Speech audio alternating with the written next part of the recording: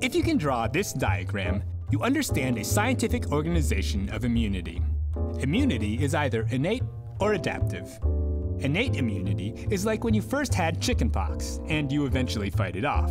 The second time you get chickenpox, your immune system has learned from the first exposure and supplements the innate response with an adaptive response to more effectively fight it off.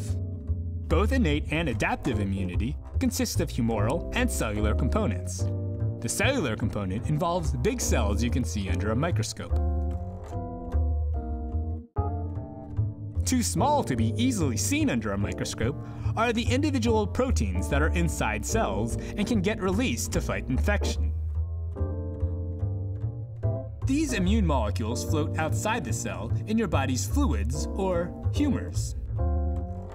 So, this dreaded diagram really has four quadrants. Innate humoral, adaptive humoral, innate cellular, and adaptive cellular. Let's look at each quadrant in turn. The innate humoral component involves complement. Complement non-specifically fights infections. Complement disrupts foreign cells by complexing to attack foreign cells' membranes. The adaptive humoral component involves antibodies, which you've probably heard of before. The cellular aspect involves cells, which have a lot of scary names. The innate cellular part of immunity can be remembered by mono kills granny. Mono kills granny. Mono means monocytes, which grow up to be macrophages, which eat bad cells, and dendritic cells, which present antigens so other cells can kill them. Remember, mono kills granny, mono kills granny. So after mono is kill. This refers to natural killer cells. Natural killer cells release proteins that kill bad cells. Mono kills granny. Granny stands for granulocytes. Granulocytes are cells that have grains inside them. There are two types of grainy cells, mast cells and the phils. Mast cells release its grains during allergies. You may have heard of histamine for mast cells.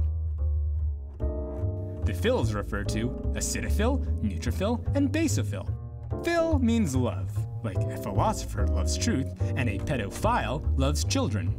The phils love certain pHs so much that when you stain them at the correct pH, they will happily change color to express their love. Quick review before the last quadrant. Immunity is innate or adaptive. Innate and adaptive are divided into humoral or cellular.